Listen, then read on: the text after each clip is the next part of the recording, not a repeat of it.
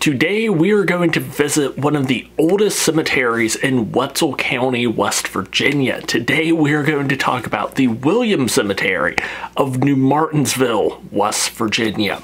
Faulkner once said that to understand the world, you must first understand a place like Mississippi. From time to time, it's good for me to go back and look at where I grew up and to better understand West Virginia history by first understanding a little bit more about Wetzel County, West Virginia history.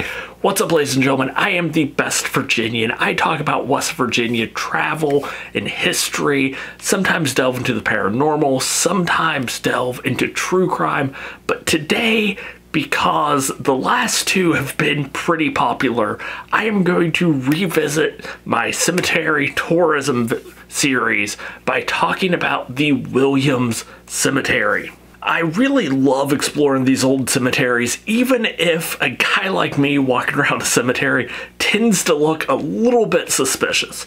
And if this type of content interests you, or you just like the look and feel of some of these old cemeteries, go ahead and hit that subscribe button because it's something I do from time to time here on the channel. Overlooking the Ohio River in New Martinsville, West Virginia is the Williams Cemetery, one of the oldest non-family owned cemeteries in all of Wetzel County. And as you walk through the cemetery, you can kind of see how it was laid out over time, how it slowly got occupied over a long period of time. Some of the earliest graves date back to the super early 1800s up until almost modern day as you move from south to north and kind of southeast up to the more northern part of the cemetery. Now, when you start in the southeastern part of the cemetery, uh, this is where some of the oldest markers uh, in the entire cemetery are. And for the most part, they're just basic stone slabs. Um, really pre industrialization, pre uh, railroad all these markers were probably made super locally by locally sourced materials pretty much during this time period unless you were some significant fig figure you were not going to get some type of elaborate monument the one exception to this is the marker of a Presley in Martin uh, it looks much fancier and much newer than the rest of the markers in this area. That is because uh, many regard Presley as the founder of New Martinsville, West Virginia.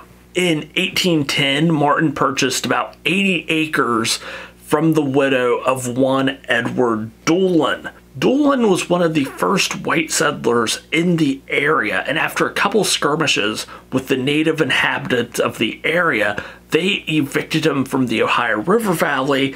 Let me check my notes real quick here. Straight to the afterlife. With this new piece of land, Martin began laying out the area and he would become the first postman for the area that many just referred to as the mouth of Fish Creek, Virginia. In 1836, when the area became a little more well settled, Martin tried incorporating the town with the government of Virginia as a town called Martinsville. Now, the government of Virginia decided that since there was already a Martinsville, which is now in Virginia, and a Martinsburg, which is now in West Virginia, that this town needed a different name.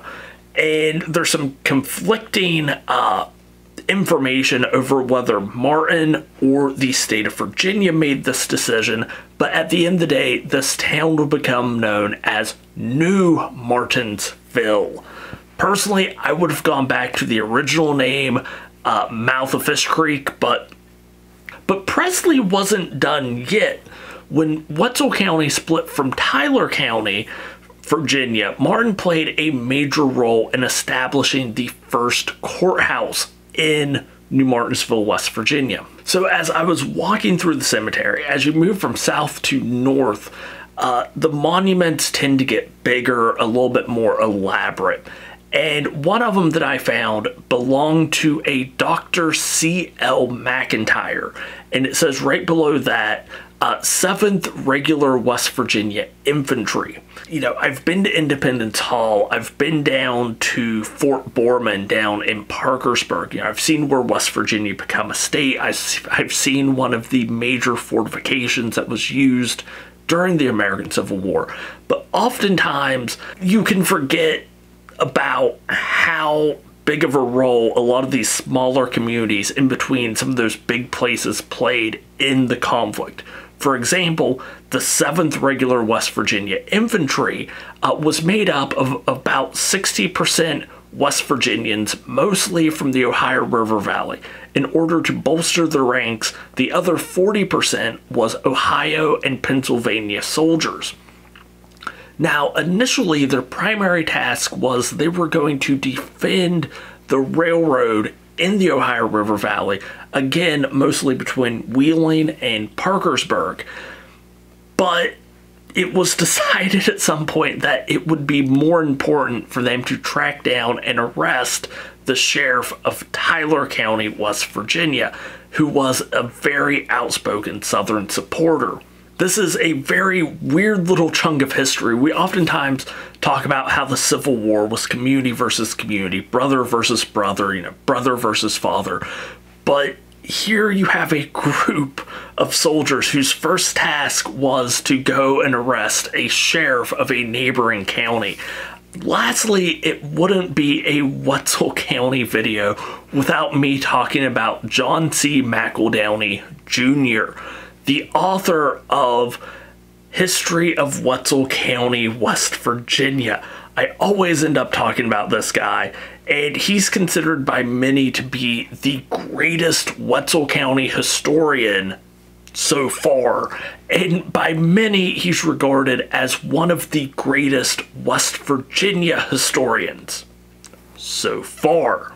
It's funny because where I had to park the day I went to the Williams Cemetery, it was like the second or third monument I came across. I, I just saw a great big McEldowney, so I had to pull out my phone and be like, okay, is this the McEldowney? And sure enough, it was. Um, it was a, I believe, a mother, father, and then McEldowney Jr. Uh, buried right there along with them. I've talked about McEldowney a lot here on the channel, and it seems like anytime I do a video on Wetzel County, I have to bring him up uh, for better or worse, no matter what I'm talking about Wetzel County related, I always kind of have to cite him as a source. Now, anyone who's interested in Wetzel County history uh, should take a look at his book. It's a very good list of topics but just be aware once you start digging into it and reading it, you might want to take everything he says with a good couple tablespoons of salt. For example, his uncle uh, claimed to have pulled a solid gold idol out of a prehistoric burial mound, uh, which was on his property. And if that's something that interests you, I did an entire video on the Ohio River Mound of New Martinsville. Uh, definitely go check it out. I'll put a link to it up here somewhere. Or how, uh, after the murder of John Jennings, which I also did a video about, uh, many of the members of the notorious Jennings gang uh, basically fled the state. And I believe some went to Ohio and the rest went to the South. Even though Little John Jennings, aka John Jennings Jr., uh, the son who witnessed the murder of John Jennings, was probably living in Wetzel County when McEldowney wrote this book. Uh, he wouldn't pass away till years later, but he was buried like four miles outside of Martinsville, and he was definitely alive when this book was written. So that was just a couple of the graves, a couple of the points of interest um, I learned about just in this quick walk through the William Cemetery. Both days I was there, the weather was pretty deplorable. Um, it was just patchy rain. It really hindered me from being able to do a good deep search of the cemetery. Uh, but it did allow me to do this video, I did get a lot of great pictures that I will be referencing, trying to get more information about some of the individuals who are buried there and more information about New Martinsville history as a whole. Because I sincerely believe that the more you can understand about some of these historical cemeteries, the more you can understand about the communities that they are in. With that being said, I know some of you are probably going to ask, but what about the haunted history of the Williams Cemetery?